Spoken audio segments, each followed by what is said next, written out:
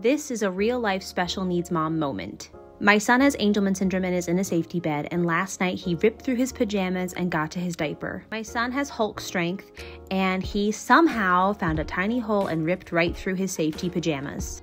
Luckily, the mess wasn't too bad to clean up, but it was a big mess. Griffin is so strong and he is so determined to get out of things. It is part of his syndrome.